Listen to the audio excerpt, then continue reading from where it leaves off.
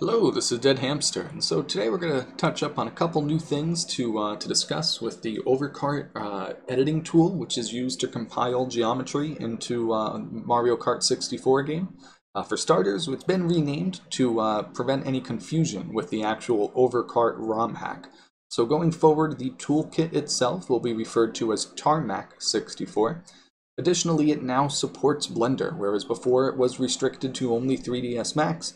We now have implemented a new library for loading FBX files, which has been proven to support Blender. So we are able to use uh, pretty much any modeling software that uh, exports to an FBX format will be able to be utilized now for, uh, for making custom levels for Mario Kart 64. Touching on that, one final thing is with a recent build that I'm about to put out in the next hour or two, uh, going to be a new intermediary format. Now, to deal with one of the limitations to the simple format, which was much easier to compile, um, there was no way to mark geometry as render only or as surface only geometry. So now with this intermediary format that's not as complex or as difficult as the original layout where you had to list out the objects for each individual section view, which was very tedious. Uh, this will be a lot easier to do, uh, but still allow people to, uh, to denote those objects. So we'll go ahead and take a look at that now using the sewer level that I had built earlier. So just as before, you'll follow the existing simple format tutorial to the letter. You'll end up with a split piece of geometry uh, labeled under nodes called section number. So section 1, 2, 3, 4, 5, 6, and 7. And each uh, part will be named a, a, uh, unique name, has to start with the ID. So the road is 1 underscore and then a unique string. So you're going to get your form, uh, your model into this format. And then you're going to create a duplicate of all of the objects in the scene. Now I've already gone and done that. When you've gotten those duplicates, you're going to link those to a new cube. This cube will be called Course Master Objects.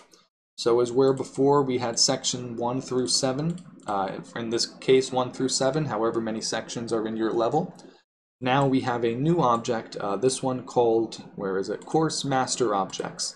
And all of the, uh, there's going to be a clone of all your objects linked to that. This should not be a. Uh, uh, I'm not sure what the, the names are. One moment. It's a whole bunch of different objects. Not an instance and not a reference. You want copies. If you're using 3ds Max, if you're using Blender, I can't help you, but you do not want to make an instance or a reference. You want to make a brand new object. Uh, again, all the ones under Course Master Objects now are going to be render objects. These will not be collidable. These will be the objects that are shown to the player. So here you can see I have the water for um, my uh, render objects shown. And I'm going to turn off all of the surface objects for a moment. So here again, you can see I have the water. Um, if I were to turn off my render objects and look only at my surface objects, I don't have the water. So when I drive through the water, I'm going to pass right through it, fall through to the bottom of the level, at which point Lakitu can pick me up. Now you may additionally notice here, I have another object with uh, some wall uh, geometry here that wasn't in my render objects. So if the player was to attempt to drive off the level here, he would bump into this wall. Now he wouldn't see this wall, it would appear to be completely invisible, but he would continuously bump into this invisible object, which would give you the ability, if you needed to, to, uh, to section off parts of the level to prevent exploits or whatever it may be. So again, we now have collision-only objects and render-only objects. The same tutorial as before.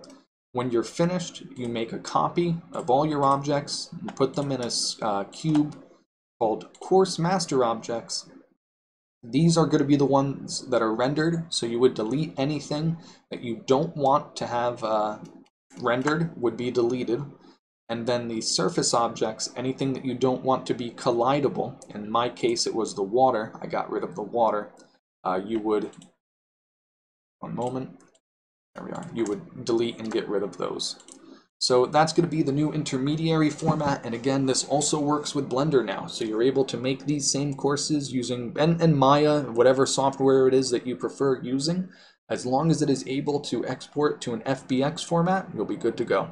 Uh, if you need help and want advice or uh, guidance uh, making these levels, or if you've made levels and you want to show them off, please, please uh, come by into the Discord channel. I'll post a link in the description. Would love to see the content people are making, and it's a great way to, uh, to have your levels get played. So, again, new updates, lots of exciting things to come, and uh, more still on the way. Until next time, as always, you guys take care.